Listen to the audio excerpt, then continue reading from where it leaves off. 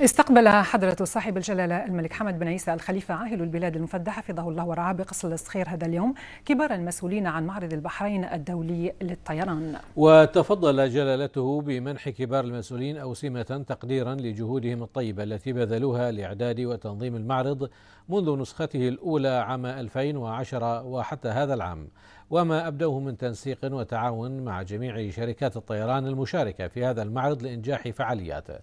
متمنيا لهم دوام التوفيق واستمرار النجاح في تعزيز موقع البحرين على خارطة معارض الطيران وإنجاح هذا الحدث العالمي الكبير.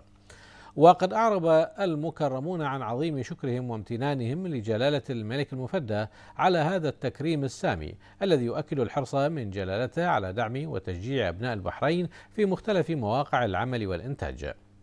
والمكرمون هم السيد عبد الرحمن محمد القعود اللواء الركن طيار حمد بن عبد الله آل خليفة اللواء الركن طيار محمد بن بحسين المسلم السيد أحمد نعمة الله علي عبد الرحيم النعمة السيدة أماندا جين ستينر السيدة إيفان ترومن الكابتن بيتر أيان أندرو نيل الكابتن محمد عبد الله القاضي والسيد خليل إبراهيم الريس